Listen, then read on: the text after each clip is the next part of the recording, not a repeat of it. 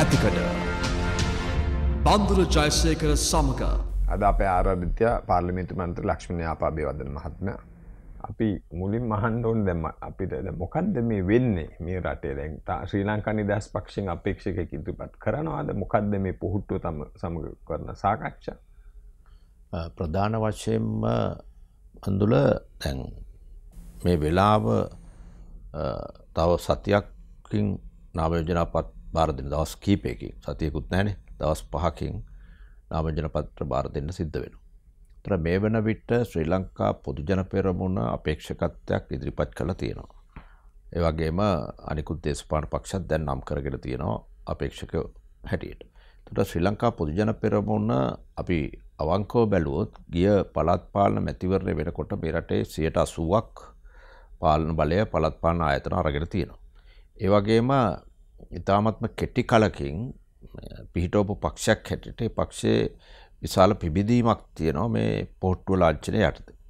ඉතින් ඒ නිසා දැන් මේ ශ්‍රී ලංකා නිදහස් පක්ෂය අනිවාර්යෙන්ම එකතු විය යුතුයි. මගේ මතේ. මොකද ශ්‍රී ලංකා නිදහස් පක්ෂය ඉන්නේ ශ්‍රී ලංකා පොදු ජන පෙරමුණේ ඉන්න සාමාජිකයන්ම තමයි.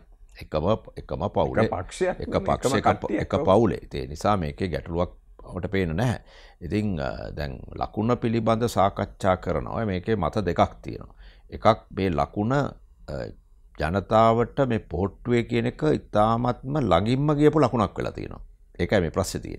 ඕක මෝදි අගමැත්තුමා කියල තිබුණ මේ පෞගේ කාලේ මේ පොහොට්ටුව කියන එක මේ පක්ෂය මේ කියැනෙ පක්ෂය නම කියන්න එස්සෙල්ලා ලකුණ තමයි කියවෙන්න කියලා. තොර ඒක යන ජනතාව අතට ගිල්ලන ම දැකල තින ඉන්ද්‍රාජ පක්ෂ හිටපු ජනාධිපත්තුවා සමහරලාට කතාවලට ගියම් මෙහ පිටි පස් බලන්න බලන්න ශ්‍රී ලංකා පොදු ජන පෙරමුණට වඩා හුට තියෙන පොහොට්ටුව. පොහොට්ටුව කියලා මෙහම මේ පැත්ත බලන්න එකැන ඒක අර ලං වෙල තියන බොහොම දුරට හදවත්වොල්ට. ඒ නිසා අපේ ශ්‍රී ලංකා පොදුජන පෙරමුණේ බෝධරෙක් අදහසක් තියෙනවා පොහොට්ටුවේ ලකුණෙන්ම තරග කළ යුතුය කිය. ශ්‍රී ලංකානි දහස් පක්ෂෙල්ලීමක් කරනවා. මේ ලකුණ වෙනත් පොදු ලක්ුණකට යන්නකල් හැබැයි තවමත් ඒ සාකච්ඡා මට්ටම තියෙන මංහිතන්නේ මේ නාමයුදා දෙන්න කලින් එක තීන්දුව වෙනස් වෙන්න ඕනනේ මොකක් හරි. ඒසා මේ ඉදිරි දින කීපය ඇතුළත මේක තීන්දුවක් ගනේ. ඒක නෙමේ ප්‍රශ්න තියෙන දැන් ලකුණ කුමක් වුවත් අද තියෙන්නේ ආණ්ඩු ආණ්ඩුවට විරෝධී සහ ආණ්ඩුවට පක්ෂ කියෙන චන්ද දෙකොටස් තොට ආණ්ඩුවට විරෝධී කොටස ශ්‍රී ලංකා පොදු ජන පෙරමුණ ශ්‍රී ලංකා නිදහස් පක්ෂේ වාමාන්සික දෙස්පාන පක්ෂත් එක්ක එකට එක් හුල තිය ඒ නිසා ලකුණ නෙමේ මෙතන වැදගත් වෙන්නේ. අපි සියලු දෙනා එකට එක්කහු වෙලා අපිට විරුද්ධව තියෙන බලවේගේ කොහොද පරාජය කරන්න ඒකට තම අපි සූදානමේ නමුත් ජනතා බලයින්න ජනතාව හිතනවා මං ගැන සාමාන්‍ය ජනතා දැ මේවා ගැන එනවා. මේවා ජනතාව ඉදිරියට ඉදිරිපත් කරන මේ සාකච්ඡා. තුර ජනතාව හිතන කොහොමද අපේ ප්‍රශ්න විසඳ ගන්නේ මේ මූන්ගේ ප්‍රශ්න විසඳ ගන්න බෑ පොඩි ප්‍රශ්නයක් කියලා. ජනතාවගේ ප්‍රශ්න මේ අවුරුදු පහවනත් මේ ප්‍රශ්නතාවම තියෙනවානේ. මෙහෙමයි බදුර දේශපාලනය තියෙන්නේ මේ වගේ ගැටුම් දේශපාලනය තුළ තියෙන එක ආණ්ඩුවක් ගත්තට පස්සේ මේක බලපාන එන්න හැ ගැන එක මොඩ ලකුරකින් ආවත් ඊට පස්සේ අපිට තියෙන අපේ ප්‍රතිපත්ති ප්‍රකාශනය ක්‍රියාත්ම කිරීම. හැබැයි මේ මේ වෙලාවේ මම දන්න දෙයක් තියෙනවා. මේ ලංකාවේ කිසිම කාලෙක නැති විදියට අලුත් ප්‍රතිපත්ති ප්‍රකාශනයක් නිර්මාණය කරගෙන යන ශ්‍රී ලංකා පොදුජන පෙරමුණ. ඒක ග්‍රාමිය මට්ටමෙන් ගම සමග පිළිසඳරක් කියන වැඩසටහන යටතේ ගමේ මිනිස්සුන්ගෙන් ගත්ත අදහසුත් විද්වත් උන් ගෙන්නලා ගත්ත අදහසුත් එකට එක්කහු කොල්ල දැන් හෑම අංසයක් පිළිබඳව ප්‍රතිපත්ති ප්‍රකාශනයක් ඇතුළත් වෙනවා. තොට ඒ දැනට කණ්ඩායම් විසි නමයක් ඒ කියන්නේ විවිධ විවිධ ශේෂ්ට්‍රෝලයින් අපිහිත උදාහරණයක් හැටියට ආපදා කළමනාකාරයට එක වෙන්නවන ආර්ථිකය කොටසක් එකට විදේශ වෙන්න පුළුවන්. මේ සියලු අධ්‍යාපන ඒවට ඔක්කෝම ප්‍රතිපත්ති ප්‍රකාශනය තුළ අලුද්දයක් ඇති. ඒ වගේම මේ සැර වෙනසක් වෙනවා. ආණ්ඩුවේ ඉන්න ඇමතිවරයා මාරුණත් ආණ්ඩුවේ ඉන්න අමාත්‍යන්සේ ලේකම් මාරුණත් ඒ ප්‍රතිපත්තිය අවුරුදු පහතුළ මේ හදන ශ්‍රී ලංකා පොදුජන පෙරමුණ හදන ප්‍රතිපත්තිය ක්‍රියාත්මක විය යුතුයි කියල. තොර එක ඉතාමත් වැදගත්තයක් මොද බඳුරප දන්නවා මාසකට මාස දෙකට ඇමතිවරු දෙතුන් දෙනෙක් විෂන් මාරුවෙන හිටපු ගම පෞගේ කාල එක වන අදන්න ඇමතිවර නෙවේ හෙට. තොට ඇමතිවර මාරුවෙන විදිට විෂන් මාරුවෙන විදිට ඇමතිවරයාගේ හිදේ තියනද ක්‍රියාත්ම කරන්න ගියොත් ප්‍රතිපත්තියක් හැටියට. ඔහුගේ දර්ශනය ක්‍රියාත්ම කරන්න ගයොත් එන නැමතිවරයට අනු හැඩගහෙන්නන නිල්ධාරිට ඒක බෑ. දැන් අපි හදන ප්‍රතිපත්ති ප්‍රකාශනය තුළ මේක ඉදිරි කාලයේදී අවුරුදු පහ අපි බලය අරගෙන අවුරුදු පහේම මේ ප්‍රතිපත්ති ප්‍රකාශනය ඒ විදිහටම යා යුතුයි ක්‍රියාත්මක විය යුතුයි. නමුත් මෙහෙම එකක් තියෙන දැන් ජනතාව කියනවා මම මේ ජනතාව පැත්තෙන් කමන්න කමන්න. ප්‍රශ්න අහන්නේ. දැන් එකම මූුණුනේ පරණ මූුණුනේ කෝ අලුත් අය කියලා ඇති ඒක ගැන ජනතාව ප්‍රශ්නයක් තියෙනවාන්නේ. ඒක ජනතාවට පෙනෙයි ඊළඟ මහමැතිවරණදී අලුත් කණ්ඩායම් එක් මේ ලයිස්තුල අලුත් කණ්ඩායම් අලුත් පුද්ගලයන් ඉදිරිපත් වේ ඊළඟ එකේදී. තොට ජනතාවට තීන්දුවක් ගන්න පුළුවන් ඔය පරණ මූුණු කියන ඒවා අලුත් මූුණු කියන ඒවා කෞද ගන්න ඕන කියන එක ජනතාව තීන්දු කරන්න දැ මේ මිති මේ ලංකා ඉතිහාසය තියෙන්නේ චන්ද දීලා බලිනකන හැබැයි මිනිස්සුන්ට අයිතියක් දීලා තා මනාප ක්‍රමේ තියෙනවනේ. මිනිස්සුන්ට අයිතියක් දීලා තියෙනවා තමන්ට තමන්ගේ පාර්ලිමේන්තුවට තමන්ගේ නියෝජිතයා තෝරා ගැනීම අයිතිය. එක මේ ප්‍රජ දැන් මනාප ක්‍රමය හොඳ නැති වුණත් මනාප්‍රප්‍රමේ තුළ නොයි ගැටලු තිබුණත් හැබැයි ඒක හොඳ පැත්තක් තින මොකද තමන්ට මේ රටට ඔබින තුන් දෙනෙක් කොහොමද තෝරගන්න? තොර අලුත් අය දැම්මම මේ ලයිස්තුවේ. ඒගොලන්ට තෝරගන්න පුළුවන් පරණ මූුණ හොඳ නැත්තං අලුත් මූුණකට චන්ද දෙන්න. එක්කොගේ සර අලුත් මූුණකට චන්ද දීලා වැඩක්ුණ නැත්තං ඒ මූුණ අයින් කල් එවරලා වෙන අලුත්තෙන් එක්කෙනෙක්කෝ ඉන්න කෙනෙක් ගන්න. එක ජනතාවගේ තීත්ව දැන් මෙහෙමන ජනතාව දොස් ජනතාව දේශපානච්චට විතරක් දොස් කියල බැහැ මේක තේරීමේ අයිතිය ජනතාවට තියෙන කෞද මේ පාර්ලිමෙන්තුට යව්වේ? එතර පාර්ලිමෙන්තුට යවපු කෙනා වැරදි විදිට හැසිරෙනවනම් ගෞරවයට හානි වෙන විදිට හැසිරෙනවනම් පාර්ලිමේන්තුවේ විනයට වැරදි විදිට හැසිරෙනවනම් ඒ ඒ චෝදනාවෙන් කොටසක් පත් කරන ජනතාවටත් එෙන. මොකද ඒ කාලෙට එන රැල්ලට ඒ කාලෙට එන කතාවලට ඒ කාලෙට බෙදන බඩුවලට ඒවට රැවටල මිනිස්සු චන්ද දෙනවන එහෙම චන්ද දෙන ඕමනාවක් නෑමකොද හේතුව මහ අපි හිතන්න බඳුල හොඳම ඉස්කෝලෙ තෝරන්න පාසල තෝරන්න මේ චන්දදායකට බුද්ධියක් තිය. කඩේට ගිල්ල හොඳමදේ තෝරගන්න බුද්ධියක් තිය. හොඳම වාහනය තෝරගන්නත් බුද්ධියක් තිය. හොඳ ගැලපෙන ගයක් හදා ගන්නත් බුද්ධියක් තියෙන. හැබැයි මේ චන්දට විතර බුද්ධයක් නැතිවෙන බෑන නමුත් ඔතන තියෙන ප්‍රශ්න අපි දකින අපි මේක සාකච්ඡාවල තිනම වැඩ සටහනෙදී. ඒ පක්ෂවලට පුළුවන් ඔය දූෂිත කියන වැරදි කියන ඇයට නාම යෝජන නොදී නැතර හොඳ කට්ටියක් ඉදිරිපත් කෙරුවොත් ජනතාව තෝරගන්න පුළ ඇති එතන නැති ඔතන තියෙන ප්‍රශ්න ඒ එකක් තොර ඔබ කිව්වගේ බඩු එහෙම නොබේ දයින්ඩ පුළුවන්. එතුරග අපි ප්‍රතිපත්ති ගැන කතාගරුත් පුළුවන් වෙන සක ඕ දැ මේ සැරේ ප්‍රතිපත්තිය හරියටම අපේ පක්ෂ ඉසින් හදනවා. ඊට අමතර ඔබ කියපු කාරණයට මම එකඟ නොවෙන තැනක් තියෙනවා. මොකද හේතුව දැන් මේ ඔය බඩ්ඩු බෙදන එක මේවට චන්ද දෙන්න ඕන්න හොඳම කට්ටිය ලයිස්තුවට දානවා කියන එකන. දැන් මේ පහුගේ කාලෙ අරගෙන බැලුවොත් දැන් දූෂණ දූෂිතයෝ අයින් කරන්නනේ මේ අලුත් ආණ්ඩුව පත් කර. අලුත් නායකව පත් කර. දැන් ඒගොලො මොකක්ද කර?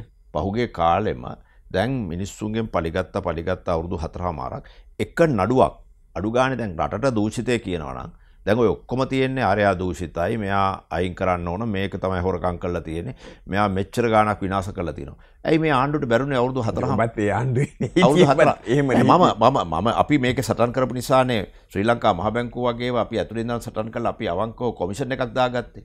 අපි කොමිෂන් එකක් දාගෙන අපි නේද කිසිම දෙයක් වුණේ නෑනේ කොමිෂන් ඒක තමයි අපිට තියෙන ප්‍රශ්නේ. අපේ යුතුකම අපි කරා. ඒ දඩුවම් දෙන එක අපිට කරන්න බෑ. අපි ශ්‍රී ලංකා නිදහස් පක්ෂය තුළ ඉඳපු කාලය ඇතුළත අපි ශ්‍රී ලංකා නිදහස් පක්ෂය තුළ හඩක් ගෙනෙච්චා මේ රටේ වෙච්ච ලොකුම හොරකම් මහබැංකු බැඳුම් කර වංචාවට අපි පුදුම විදිිය සටනක් දුන්න එකතුළ ඒකෙන් තමයි මධ්‍යම කාරක සභාව කණ්ඩායමක් පත් කරේ. අපි නියෝජිත නම දෙනේ. අපි කොමිෂන් පත් කරන්නේ කියලා නිර්දේශ කර. කොමිෂනුත් පත් කර. කොමිෂන් පත් කරක මේ රටේ ජනතාවට මේ හොරකම පිළිබඳ ඉතාමත්ම පැහැදිලි චිත්‍රයක් මැවුණ නිවැරදි චිත්‍රයක් මෙන්න මේ ගොල්ල ඔය හොඳයි කියෙන අය මේකට සම්බන්ධ වෙලා තියෙනවා. රනිල් වික්‍රමසිංහ මහත්තයා මිට. කලීන් කිව්ව හැබැයි මේකෙද ඔහුව ඔහුව ඔහු මේකට උදව් කර හැටියට තිබුණ. ඒවගේම පාද සටහන් තියපුය කවුද කියලා හෙළි වුණා. ඒවගේම ගිනුමට මුදල් මාරුණ හැටි හෙළුණ මේ ඔක්කොම ජනතාවට හෙරුණේ කොමිෂන් සභාව පත් කරපු නිසා හැබැයි කොමිෂන් සභාව පත් කරලා දඩුවන් දෙන අපිට කරන්න බෑ එතන තම ඒක කියන්න. ඒක අධිකරණය කරන්න ඕන. එමනත්තම් කොමිෂණ එකට බලය තියෙන ඕන එක කරන්න. නමුත් පොඩි මිනිහට හැමකටම දන්නුවන් ලැබෙනවන ඔබ දන්නවන්න ඔබ ගමෙන් ආපු කෙනෙ ඔබ දන්නවා. පොල් ගෙඩියක් කොරකන් කල මගැන ඒක හොඳයි කියනවා නෙවේ නමුත් පොඩි මිනිහට හැමලේම දන්නුවන් ඒ ගැන ලොකු පොඩි මිනිස්සුගේ කලකිරීමත් තියෙනවා. ඇත්තම කරකිරීමත්තින අපිට කනගටුවත් තියෙනවා. ඒ ගැන මෙච්චර කල්ලා මෙහෙම දනුවන් දෙන්න නැත්තන් දැන් කවුද? දැන් අද අර්ජුන මහේන්ද්‍රන්ට ශ්‍රී ලංකාවේ පුරවැසිභාවයක් නැතුව අර්ජුන මහේන්ද්‍රන්ට මා බැංකු ඇධිපති හැට පත් කරනවා. මේ පත් කරේ රනිල් වික්‍රමසිංහ අගමැත්තුම. එක නැතේ කියන්න බෑනේ. ඔහුව තමයි පාර්ලිමේන්තුවට ගිහිල්ල කිව්වේ කෙලින්ම නෑ අර්ජුන මහෙන්ද්‍රන් වෙනුවෙන් ම වග කියනවා කියල. එතට කෝ දැම් වග කියන කෙනා?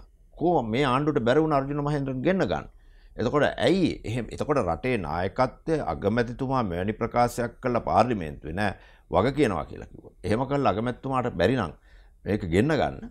ආපහු ඉළඟාණ්ඩුවත් අගමැති හැටියට ඉල්ලන්නේ. මොකක්ද එතකොට මේ තිර තත්වේ එදේ නිසා එතුමගේ වගකිමැතුම පැහැරිය ඔබ එක් සජාතිපක්ෂය හිටපු ප්‍රබල සාමාජික ඔබ දැන් මොකක්ද ඔබ හිතන්න රනිල් වික්‍රමසිංහ මහත්මයට මේ ඉදිරිපත්වෙන්ට බැරිවීම ඔහුගේ දුර්වලතා වැද්ද නැත්තම් පරාජයක්ද? මෙහෙමනේ අඳුල අවුරුදු විසි පහකට වැඩි කාලයක් පක්ෂේ නායකත්වය පැරදි පැරදි ඉන්න කොට සහ පක්ෂයේ බිම්මට්ට මේ අයගේ සිතුම් පැතුම් තේරුම් අරගෙන නැතුව වැඩ කරනකොට මේ දඩුවම ලැබෙනවා ඒක රනිල් වික්‍රමසිංහ මහතා බලෙන් තමයි මේක තියාගෙන හිටියේ. ඒ කියන්නේ ඔහු වට අපසරයක් හදාගන්නවා කෘත්‍යාධිකාරී මණ්ඩලය. ඔහු අපසරයක් හදාගන්නවා තමගේ නීති රාමුව තුල. ඒ වපසරිය තුල ජනතා ප්‍රසාදයට වඩා අතන නීතිය හදාගෙන ඒ රාමුව තුල ඔහු රැඳී හිටියා.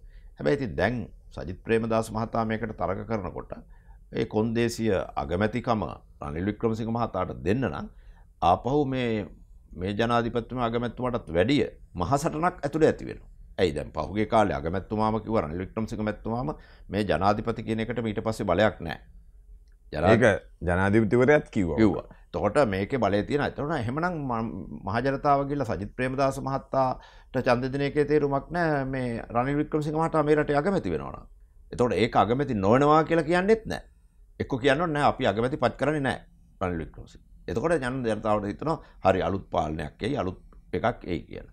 ඉතින් හීනෙන්වත් දිනුවොත් දෙවුනට දැ එක ජනත අනිත් පැත්ත කියන්න පුළුවන්නේ. ගෝටාබ රාජපක්ෂ මහත්මයට චන්ද දීලා වැඩන්න. ගැන්න වැඩන්න දැන් යාන වෙන්න මහින්ද රාජපක්ෂ මතක ඇත ඒ දෙකම කියන්න මිනිසු කැමතිනේ. මහින්ද රාජපක්ෂට තැන් මහින්ද රාජපක්ෂට බිම්මට්ට මේ මිනිස්සු ආදරයි. ඒක රනිල් වික්‍රම සිංහ මහත්තයට නෑනේ මේ රටේ ඉඳපු කිසිම නායකෙකුට මහින්ද රාජපක්ෂට තිවිච්ච ආදරේ ආවෙන එක අවයංකව අපි මොන රන් ලුක්ෂම මහත්තයට ඉන්නවන්නේ පිරිසක්. මට කියන්න මරණ. මේ දෙන්න මේ දෙන්න අතර තිව්වම මිනිස්සුගේ ආකර්ශණය සහ මිනිස්සුන්ගේ ආදරේ තියෙන කොයිබටද කියලා. එක මහජනතාවට පේනවා. එක ඔහුට ළමයි වඩා ගන්න බැරි වුණාට ඔහුටත් පිරිසක් ඉන්නවානේ. ලුම්පට පන්තියේ සහ ලිබරල් අන්ත ලිබරල්වාදින් ඉන්න ඇබැ සාමාන්‍ය මිනිසුන ඇතන නැනවුත් නැ මංගෙන්ද එකම දේ වෙන්න කියන්න දේ තකොට දැන් හරි ජනතාවට අලුත් නායකත්වයක් අවශ්‍යයි. කැන් මේ පැත්තේ යුක් සජාති පක්ෂ සජිත් ප්‍රමදස මහත්ම යනවා එතකොට මේ පැත්තෙන් ගෝට බරාජ පක්ෂ මහත්මය නම්ක දවුන් එක්තරවිද උන්ට නායකත්වයක් තිබිල නෑ. විශේෂ කොට බරාජපක්ෂ මහත්ම දේශපාලනය නිරත වුණේ නැහැන එතකොට ඔහුගෙන් බලාපොරොත්තු වෙන්නේ එහෙම නං හරි ගැන හොඳ පාලනයක් අර කොළඹ පිරිසුදුව තිබ්බගේ වගේ එතකොට මම මයින් රාජපක්ෂ මන්තයක වැඩකර ම හුට ගෞරව කරනවා නෙවේ නමුත් එතකොට අලුත් දෙයක්නේ සජිත් ප්‍රම දසමද අලුත් ඒ විදිහට බැලුවොත්. එතකොට ඔවුන්ට බලයක් නැත්ත වැඩන්නේ නේ නෑ. එහෙම ප්‍රශ්නයක් නෑ. දැන් උත්තර ගැටුම තියෙන්නේ බඳුල දෙපැත්ත පෑහෙන නැත්තම්. ඔය ගැටුමාවෙත් එහෙමනේ. දැන් අතර ප්‍රතිපත්ති දෙකක්. එක්සත් ජාතික පක්ෂේ සහ ශ්‍රී ලංකා නිදහස් පක්ෂ. ඒ වගේම ගමෙන් ආපු මෛත්‍රීපාල සිරිසේන මහත්තයත් කොළඹ හතෙන් ආපු රනිල් න හු ගල්ලේ. ගල ලක්ෂ්ම රනිල් වික්‍රමසිංහ. හරි අමාත්ම අපි ගල්ලන්න ගම ගල්ලන ඔබ දන්නවන්නේ කොළඹට යා හැදුනේ විදිට රෝයල් ගිය. ඉතින් හැදුනේ පරිසරයන එතුමත් එක වගේ පුද්ජලික ප්‍රශ්නයක් නෑ. නමුත් මේ කියන්නේ ඒවුණට අපි අමතක් කරන්න හොන මගැන ම මේ වෙලාව කියන්න ඔබ පිළිගන්නවා. කොච්චර කිවත් ඔහු පිට්‍රට ඉගෙන ගත්තේ නැහැ. රනිල් වික්‍රමසි මෙහෙම නැන මෙහි ඉගෙන ගන්න මෙහෙම විශ්වවිද්‍යාලට කිය නති ඒක ප්‍රශ්නයක් නෑ. ඔහු ගියාට එක්කමදේ ඔහුට මේ බිම්මට්ට මේ තියෙන බිම්මටම තේරුම් ගත්ත නැතික ප්‍රශ්නයක් මේ තියෙන තකොට මේ ජනතාවගේ සිතුම් පැතුම් තේරුම් ගන්න ඕන ජනතාවගේ අදහස් තේරුම් ගන්න ඕන අපි මොකක්ද කරන ප්‍රතිපත්තිය මේ දුප්පත් මිනිස්සු එක්ක වැඩ කරනකොට දුප්පත් මිනිස්සුන්ගේ තියෙන ඉව තේරුම් ගන්නන ඒ තේරුම් ගත්ත නැතුනාම හරි දුරස් වෙනෝ මේ සමාජ. එතකොට නායකයයි මහජනතාව අතර ලොක දුරසක් ඇතුනාම එක කරන්න බෑ. හැබැයි මෙතන ඇතිවෙන නෑ එක මෙතන ඇතිවෙන් නැත්තේ. මෙතන ගැටුමක් එන්න විදික් නෑම හිද රාජපක්ෂ ගෝටාබේ රාජපක්ෂ ගැටුමක් එන්න කොයි වෙලාකවත් එක සියට සියක් විශ්වාස. එහ ප්‍රශ්නයක් ඇත්තෙත් නෑ එක වැඩ කරගෙන යන්නත් පුළුවන්. අපි දැන් කෙටි විරාමයකට යනවා. පැතිකඩ. බන්දුර ජයසයකර සමඟ ඔබ නැවතත් පැතිකට සමග අද අප ආරධිත ලක්ෂ්මණය අපාභිවදන මහත්මය අපි එතකොට ඔබගේ ප්‍රශ්න නැකත ඔබ කොහොමද දකින්නේ? දැන් අලුත්ම අපේක්ෂකයා හිටපු හමුදාපති ජෙනරල් මහේශ්‍යන නයකගේ ඉදිරිපත්වීම ඒ වගේම තවත් අය මේ පර සෑහන ඉදිරිපත් වෙනවා කියල දාලාතින ඔබේ කොහොමද දකින්න? මම බඳුල මහත්මය ඒක ගැන පැඩි කනගාටුවක් වෙන්නෙත් නෑ සතුරක් වෙන්නෙත් නෑ. මොකද හේතුව මේම ඉල්ලල තියෙන මේ මැතිවරවලට අනන්ත අප්‍රමාණ. සිද්ධාලේප අපේ සිද්ධාලේප මහත්මයත් ඉල්ල ඔහු ඉල්ලුවන්නේ. ඔහු ඒතු වෙලායකුවා හැම්ම ගෙදරකටම එලහරක් වෙලා හරක් දෙනවා කියලා. හැබැයි හුට චන්ද දුන්නේ නෑන. හරි. තර මහේශ්‍යනායක මහත්තය අමුදාපති වෙලා හිටිය. තුමා කරපු සේවය අපි අගේ කරනවා. එතුමා අවංකෝ වැඩ කර එකගෙන කිසි ගැටලුවක් නෑ. හැබැතින් දේ මේ ජනාධිපතිකමට ඉල්ලන්න පුළුවන්. ඉල්ලන්න පිරුවන් වුණට මේ වගේ ඉල්ලන අපේක්ෂකයෝ මම ඒතර විදිටින් චන්ද පනස්ථාහක් ගන්න එකත් හරි අමාරුවක් වෙන ොද ට වැඩි ඔසිය අභගුණු සේකල වගේ කටියත් මේ තරග කරා. තකොට එහෙම මහජනතාව මෙතන පැති දෙන් දෙක් ප්‍රධාන අපේක්ෂකය දෙන්නට තමයි මේ චන්ද බෙදිලයන්. ජනතාව මික්ති පෙරවුන්ට තමන්ගේ කාඩරකෙන් කොටසක් ලැබෙනවා. සහ මේ දෙගොලන බිරුදු කොටසෙන් කොටසකුත් ජනතාව මිත්‍රට වෙන්න පුළ අතෙන්ටත් මේ කවරුත් ඕන නෑ කියලට එක දෙනෙත් දෙන්න පුළුවන් නමුත් සමන් දැන් මේ බාධකිරීම දැන් එතකොට මං එක ඇහුවේ දැන් අද පක්ෂ දේශපාලනය ජනතාවට ඇති වෙලා. ඒකන මේ තෙවැනි බලවේගයක් අලුත් මුහුණු ඉල්ලන්න ඔබ කියන්නේ ඒක ජනතාව ප්‍රතික්ෂප කරනවා කියලද අන්දුල මහත්ය මේ කවරුත් ජනාධිපති වෙන්න පුළුවන් කියලා හිතන්නේ මෛත්‍රීපාල සිරිසන මහත්තය එකවරට ජනාධිපති වුණ නිසා. තොර මේ කවරුත් හිතනවා ජනාධිපති වෙන්න පුළුවන් ඉක්මට මෙහම චන්දකට අවච්චිය හැබැයි ඔය කිසිම අපේක්ෂකයකුට තමන් බලාපොරොත්තු වන දේ මේ චන්ද ලැබෙන්නේ නැහැ. අපි ගණන් කරම් බලමු. දහතක් කිලුවත් දහටක් කිලුවත් ඔය එක්කොම එක්ක වෙලා එනි තමත්ම සුළු චන්ද ප්‍රමාණය. මේ මැතිවරණය අවසාන සතිය වෙනකොට මිනිස්සු තීන්දු කරනවා ප්‍රධාන අපේක්ෂකය දෙන්නවට ඒක රාසිවෙන් අපි මේක දැකල තින නිසා ඒක මන්දකින හැබ ගොල්ලන්ට වාසියක් තියන ඉතින් විදේශ රටවල්ලොට ගියාම ශ්‍රී ලංකාවේ ජනාධිපති අපේක්ෂක හැටියට ඉදිරිපත් කරපු ඉදිරිපත්වන හවලායනමයිකවම තිය ගොලට පියාරක වුණ ගන්න පුළුවන් සමයිට. ඒක නැති විදේශ රටවල පැරද්ද එතකොට අපි මෙහෙම බැලොන්ද ජනතාවගේ මතයක් තියෙනද ඔබ මන්දන්න ඔබොහොම ස්වාධීනව කටයුතු කරන පුද්ගලෙක් කියලා. දැන් මෙහෙම අපේ මම කැමතිනෑම සුළු ජාතිගෙන වචන පාවිච්චි කරන්න. මම කැම නමුත් අපේ ශ්‍රී ලාංක අනිත්ත අපිකම උතුරු නැගෙහිද අනිත් අය. දැන් සජිත ප්‍රේම දස මහත්මයට ඔවුන්ගේ ආකර්ශණයක් තියෙනවා. දැන් හරියෝ වැරදිහෝ ඒවා ගොට බෙරාජ පක්ෂ මහත්මට එතන ප්‍රශ්නයක් ඔබ දකින්න දෙහෙම තියෙනවා නෑ මම උතුර ගියා උතුර තියෙන්නේ දමිල්ල සංවිධානය ප්‍රතික්ෂේප කල තින යම් කොටසා දමිල සංවිධානය දීප පොරොන්දු ඉෂ්ට කල්ලත් නෑ. ආණ්ඩුවක් එක්ක කඩේගිය ඇරෙන්න්න දමිල සංවිධානය දෙමල ජන දමිල ජනතාවට මොකුත් සේවයක් ලොකු සේවයක් කරන්න. හැබැයි උතුරු උතුරෙත් මම ගියා. ම මුලතිව්වල හිටියේ. නැගෙන හිරත් මම දන්නවා. බැසිල් රාජපක්ෂ මහතාට විශාල කැමැත්තක් තියෙනවා. යොද උතුරු වසන්තය ක්‍රියාත්ම කිරීම තුළ ඔහුගේ පිළිගැනීමක් තින වගේම ඔහු ජාතින් එක්ක සංහිධාව තියාගත්ත පුද්ගලෙක් හැට ඒ කොටසේ චන්ද කොටසක් එනවා ඊළඟට තව බරපතල ප්‍රශ්නයක් තියෙන නැගෙහිර පලාතේ. නැගෙහිර පලාතේ දමිල කතෝලික කියන කොටස සම්පූර්ණයෙන්ම එතන බයෙන් ඉන්නේ ආරක්ෂාව පිළිබඳ. එතකොට ඒක මුස්ලිම් අයත් එක්ක තියෙන එයාගේ තියෙන පීඩනයට විශාල සහරන්ගේ සිද්ධියත්ෙන් පස්සේ ආරක්ෂාවක් අවශ්‍යල තියෙන. ආරක්ෂාවක් දෙන්න පුළුවන් හොඳම පුද්ගලම අපේක්ෂකයෝ දෙන්නගෙන් ගොටාවේ රාජපක්ෂ මහත. එතකොට මේ රටේ බදුල මහතා මේ රටේ අද අවශ්‍යල තින කරුණු තුනයි. එකක් තමයි ජාතික ආරක්ෂා. දෙක රටේ විනේ. තුන ආර්ථිකය. මේකෙන් ජාතිකාරක්ෂාව දෙන්න පුළුවන් ගෝටාබේ රාජපක්ෂ මහතාට කිසිම ගැටලුවක් නැතුව ඔහු ඒ සඳහා අපිට දීලා තියෙනවා ඔහුගේ අතීතය ආදර්ශ. දෙවනි එක විනයක් එතුමට හදන්න පුළුවන්.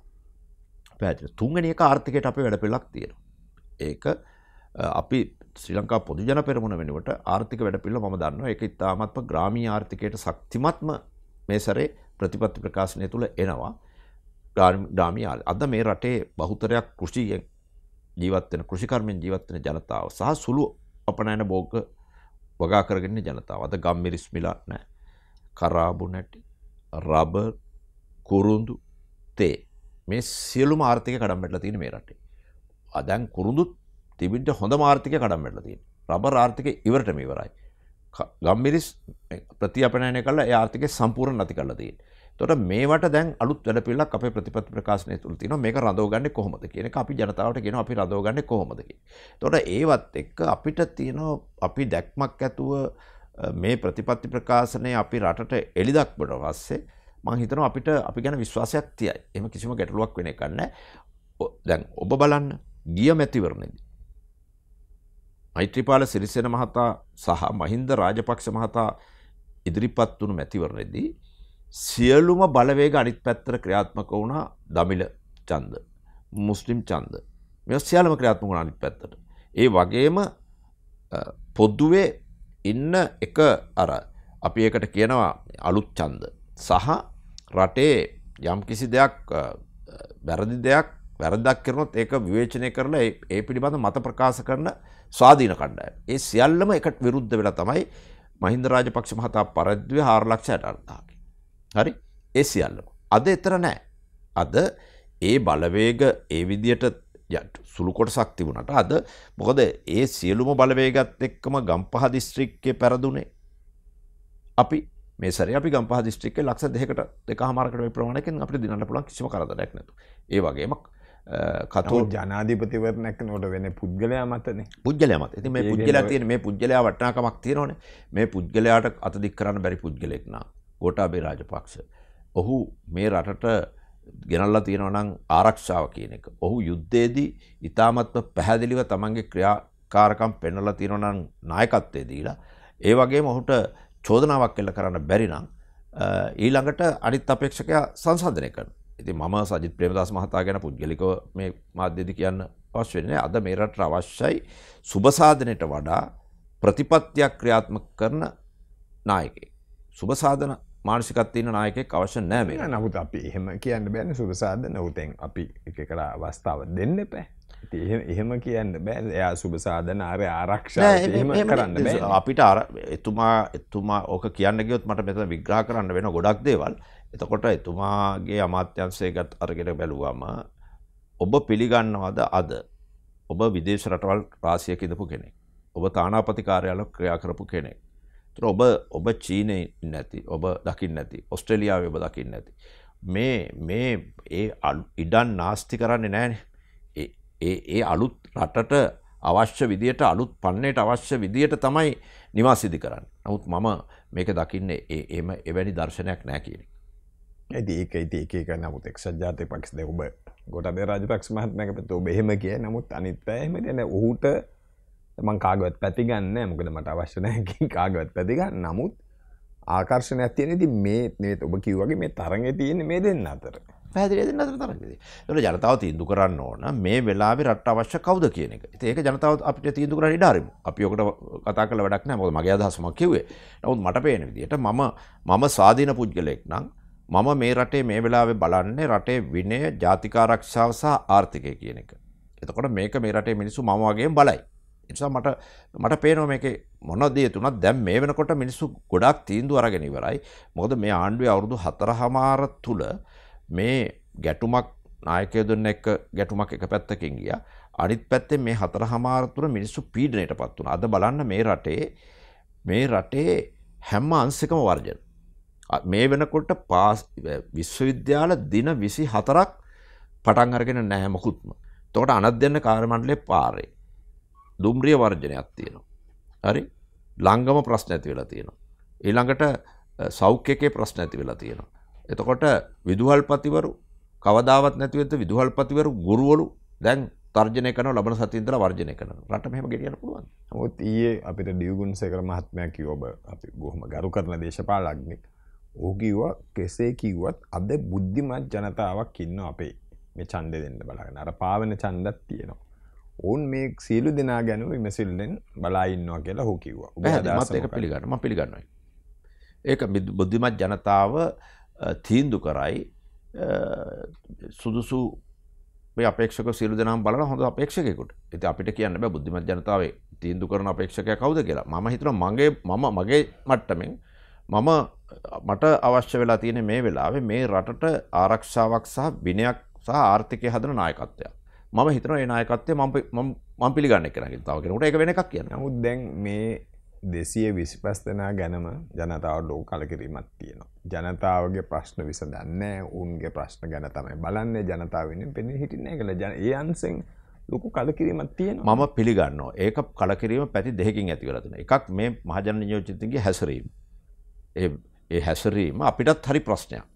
සමහර මහජන යුත අපිටත් ලැජ්ජය. සමහල්ලට අපි පාර්ලිමේන්තුවේ මහජන යෝතයක් හැටියට සමහනම අපේයගේ සමහරයගේ හැසුණු ආකාරයන් පිළිබඳ. අනිත් පැත්තෙන් මාධ්‍යයෙන් අද මාධ්‍ය ප්‍රබලයි.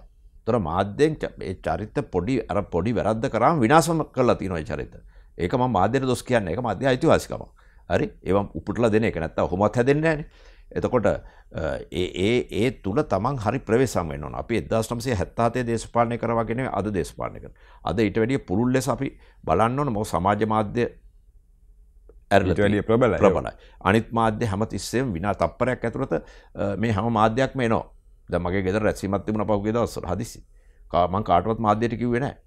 කිසිම හොරාම කරේ. හැබැයි බලනකොට ගෙට්ටු ගා මාධ්‍ය ඉන්න කොහින් යනවද? ඒකන මාධ්‍ය තරම් දැනවා. තකොට මේක මේක දේශපානච්චන් තේරුම් ගත යුතුයි.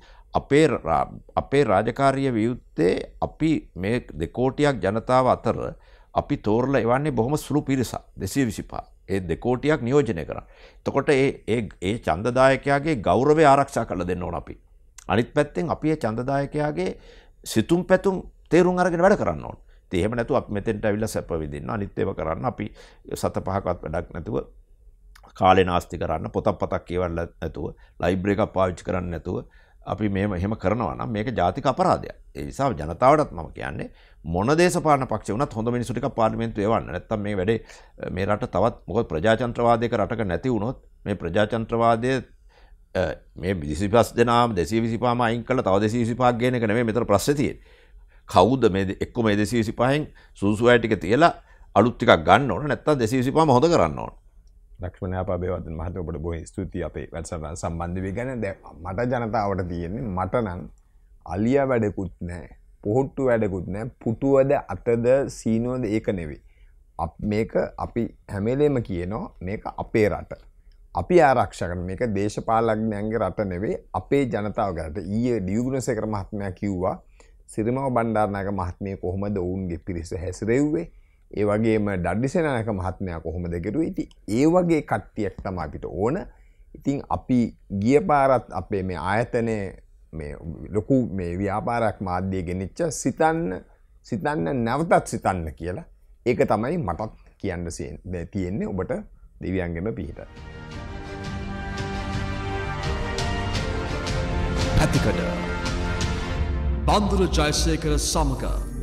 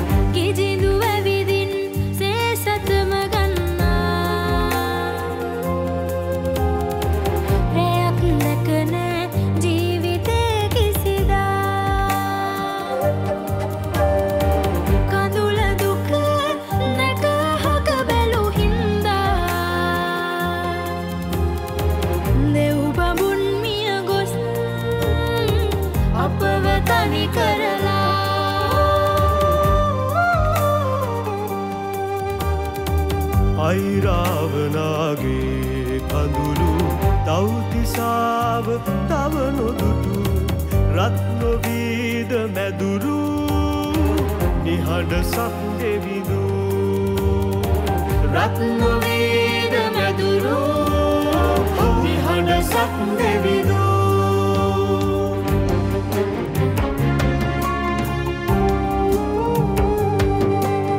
දේරි